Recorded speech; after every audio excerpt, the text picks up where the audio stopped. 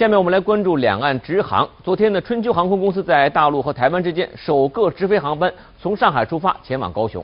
两岸航线呢，一直是一个全年都没有明显淡季的热门的航线。从2003年两岸直航首航以来呢，大陆航空公司当中执行两岸航线的一直都是国有航空公司。而昨天呢，两岸航线首次出现了大陆民营航空公司的身影。更重要的是，他们把低价策略带入到这一市场。如果你运气好的话，也许可以抢到一百九十九元的特价机票。中午十二点二十分，春秋航空公司的 A 三二零客机从上海浦东国际机场起飞，飞行两个多小时后，于下午的两点半抵达高雄。春秋航空成为首家直飞两岸直航航线的大陆民营航空公司。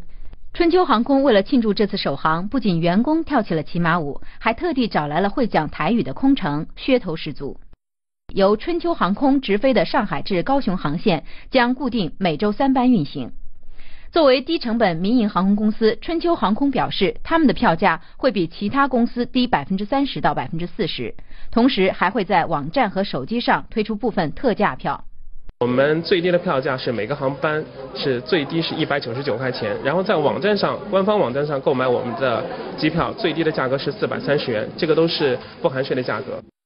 票价低廉，相应的服务也将受限。春秋航空规定，行李限重十五公斤，机上也不提供任何餐饮。收扣两个小时以内不需要喝水，或者是自己进了这个进了这个航空站以后再买一点水喝呀。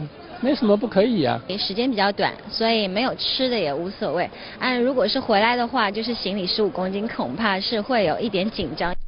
此外，另一家民营航空公司吉祥航空也将会在十一月一号开通上海至高雄的直航航班，十二月一号开通上海至台北的直航航班。东方卫视综合报道。